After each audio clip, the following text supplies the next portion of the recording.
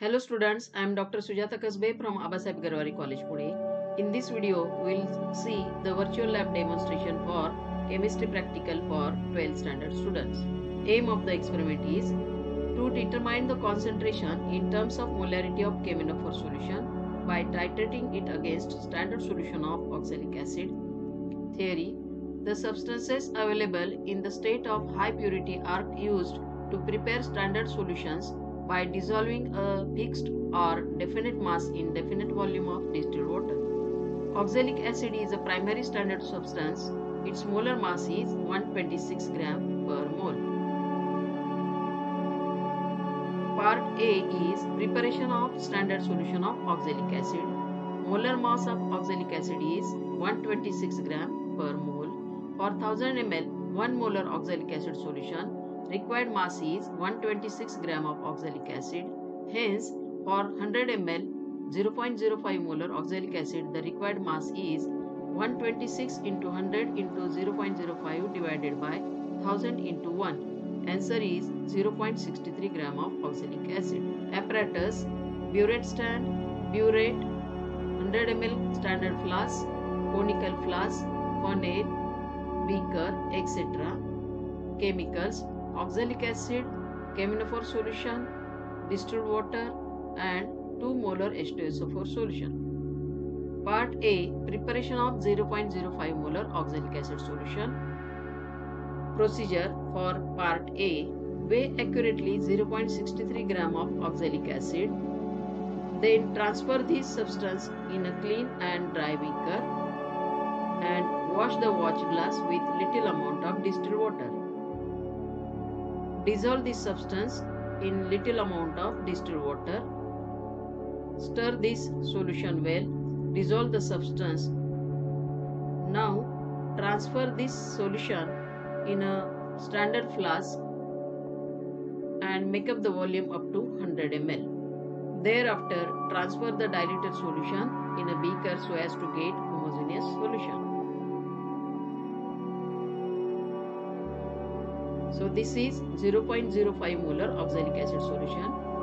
Part B Determination of molarity of KMnO4 solution using standard solution of oxalic acid. Now fill the burette number 1 with 0.05 molar oxalic acid solution and burette number 2 with KMnO4 solution. Take 10 ml of this 0.05 molar oxalic acid solution in clean and dry conical flask then add to this solution 1 test tube 2 molar H2SO4. Heat this solution up to 60 to 70 degree centigrade. Now keep the tile and then titrate this solution with this burette number 2 with constant stirring till faint pink color appear to the solution and record this reading as pilot reading in the observation table. Similarly, Refill the burette number 1 with 0.05 molar oxalic acid solution and burette number 2 with KMnO4 solution. Then take 10 ml 0.05 molar oxalic acid solution and add to it 1 test tube 2 molar H2SO4. Thereafter heat this solution and repeat the titration with KMnO4 solution with constant stirring. Now continue the titration with burette number 2 till faint pink color appear to the solution. Record this reading as XML. In a similar way, repeat the titration for two times and find out the constant burette reading. Observation. Solution in burette number 1 oxalic acid. In burette number 2 KMnO4 indicator KMnO4 itself. End point colorless to faint pink. Reaction is given here. Observation table.